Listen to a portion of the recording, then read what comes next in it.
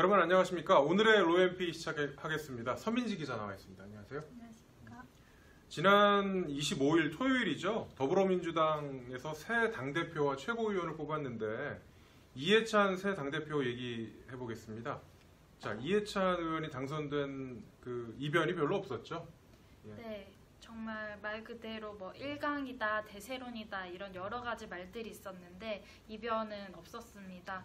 이제 이신임 대표는 어, 지난주 토요일에 서울 잠실 올림픽 체조 경기장에서 열린 전당대회에서 42.8%로 어, 압도적인 1위를 차지했습니다.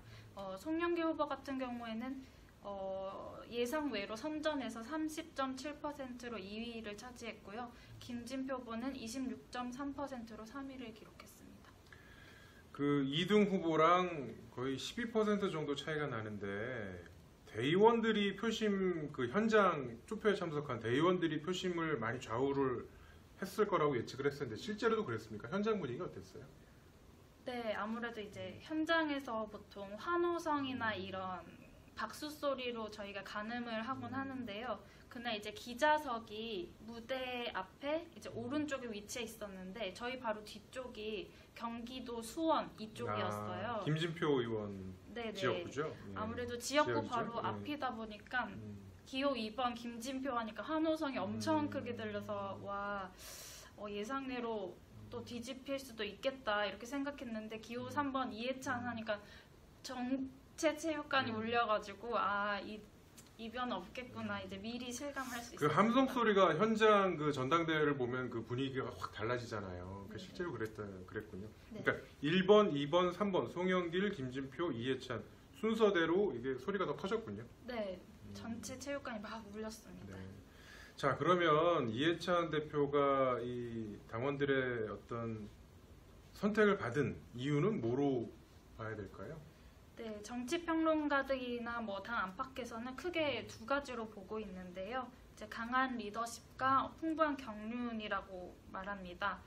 이제 당원들 입장에서는 문재인 대통령이 지금 현재 지지율이 떨어지고 있고 이제 경제 상황 악화로 절체절명의 위기 아니냐 이런 식의 이제 위기 의식을 느껴서 이걸 잘 뒷받침해서 2020년 이제 총선까지 어떻게 하면 압승할 수 있는 후보를 뽑을 수 있을까 이렇게 고민을 했던 것 같습니다. 이제 이해찬 대표는 같은 경우에는 친노랑 친문을 전체로 아우- 아우르기 때문에 민주당 내 기반이 굉장히 넓다고 평가가 되고 있지 않습니까? 그래서 어, 이런 뭐 불협화음이 있거나 뭐 했을 때 가장 잘 정리를 할 수 있는 그런 후보 그러니까 관리형 리더십으로 어, 생각했다고 그렇게 평가되고 있습니다. 한마디로 민주당의 대의원들이라 하면 어떻게 보면 정말 정치 전문가들이거든요. 그분들이 네. 이해찬 당대표를 뽑았다는 것은 그만큼 지금 현재 상황에서는 센 관리를 잘해야 되는 그런 대표를 뽑아야 된다라는 그 인식에서 그 비롯되지 않았을까라는 생각이 드는데요. 네. 자, 이해찬 새 대표 7선이죠. 7선이면은 일곱 번의 총선에서 국회의원이 됐다는 거의 4728 하면 28년, 30년 가까이 네. 국회의원 배지를 다하신 분이죠. 정세균 전 의장이나 문희상 현재 국회의장이랑 거의 비슷하게 민주당에서는 제일 원로급이죠. 네, 네, 맞습니다. 그야말로 민주당의 산 역사라고 어, 산 증인이라고 볼 수 있는데요. 어, 30년 전인 1988년 13대 총선에서 어, 당선이 되셨어요. 그때 당시에 이제 김종인 전 네. 의원이랑 김수환 전 국회의장을 서울 관악을 해서 네. 이기고 당선돼서 국회에 입성했고 그 이후로 내리 5선을 관악 을에서 했습니다.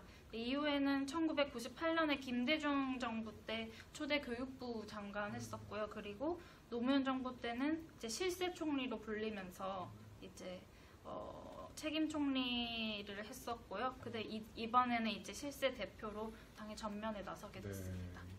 그럼 오늘부터 이제 이 대표 일정이 본격적으로 시작됐는데요. 어떤 사안을 중점적으로 추진한다고 했습니까? 어, 네. 우선은 경선 과정 중에서는 이제 강한 민주당을 만들겠다, 적폐 청산과 사회 개혁을 계속 지속해서 나가겠다 이렇게 얘기를 했었는데 당 대표 수락 연설 하시자마자 경제를 화두로 끌고 나오셨어요. 그래서 민생 경제의 방점을 찍어서 빨리 회복시킬 수 있도록 하겠다. 그래서 그거를 할 수 있도록 하기 위해서 민생 경제 연석 회의를 하고 또 5당 당 대표 회담을 제안해서 뭐 협치도 굉장히 얘기를 많이 하셨고요. 그리고 문재인 정부의 그 소득 주도 성장 같은 경우에 그걸 뒷받침하기 위해서 긴밀한 당정청 협의를 추진해 나가겠다고 했습니다. 워낙에 이해찬 대표가 뭐 총리 시절도 그렇고 쭉 정치 역정을 보면 굉장히 강성 이미지가 강했는데 네. 이번 경선 때는 좀 많이 바뀐 모습을 많이 보이셨어요? 저 아무래도 음. 그런 이미지를 타파하기 위해서 굉장히 어, 원팀 강조하시고 또 많이 변화하는 모습을 보여주려고 노력했던 것 같습니다. 네. 앞으로 이해찬 대표 취재에 좀 더 그 다양하고 변화된 모습들에 주목을 좀 많이 했으면 좋겠습니다. 네, 자, 지금까지 서민지 기자와 함께 오늘의 로엠피 진행했습니다. 감사합니다.